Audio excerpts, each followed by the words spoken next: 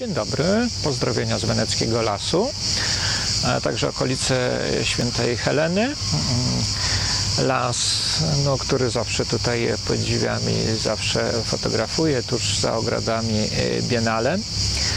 E, No, odkąd przyjechaliśmy do Wenecji, no pierwsze wrażenie było jakieś zepsute instalacje elektryczne, jakieś, no po prostu z parku wydobywały się bardzo dziwne dźwięki, takie bardzo intensywne, bardzo głośne. Chyba słychać to teraz tam w moim tle.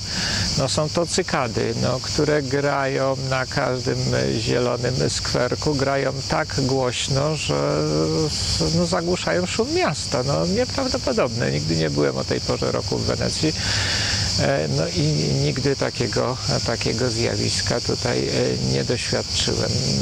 No Wenecja dopiero się budzi do życia, ludzie uprawiają jogging, biegają, tu jest takie miejsce do ćwiczeń, jest boisko, no ale są to na razie pojedyncze osoby. Posłuchajmy jeszcze przez chwilę cykad.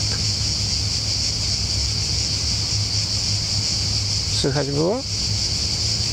Może znajdę jeszcze miejsce, gdzie one będą bliżej. Do zobaczenia.